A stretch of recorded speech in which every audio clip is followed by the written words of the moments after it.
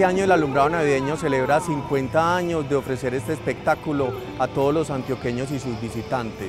Son 37 millones de bombillas los que este año tenemos distribuidos en 40 puntos de Medellín, entre ellos los 5 corregimientos, 16 parques de las 16 comunas. El nodo central está aquí en el Parque Norte, donde tenemos una gran fiesta de celebración por estos 50 años de llenar de luz a Medellín. Este año tenemos tecnología de punta, decidimos para los 50 años del alumbrado navideño traer todo lo mejor de lo mejor que hay en tecnología en estos momentos. Eh, hemos traído infinidad de, de, efectos de luz, efectos de sonido, interactividad, espacios inmersivos para que precisamente la comunidad pueda vivir ese alumbrado como ellos mismos.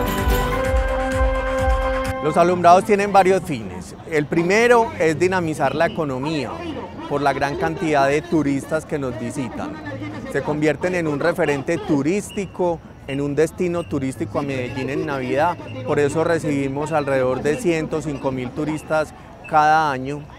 Eh, los alumbrados son visitados diariamente por unas 70 mil personas, están encendidos 38 días. Pero los alumbrados también tienen un propósito especial que es ayudar a mantener las tradiciones decembrinas, pero también contribuir a que las familias se unan y lo recorran.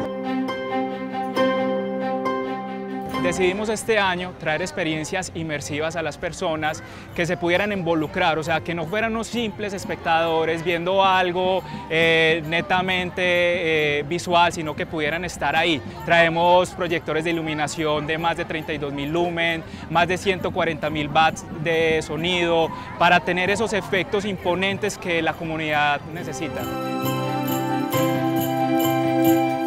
Este año ofrecemos un video mapping que es 360, es envolvente, tiene hologramas, tiene música, tiene audio, tiene sonido y nos narra la historia de cómo unos seres van y traen la energía.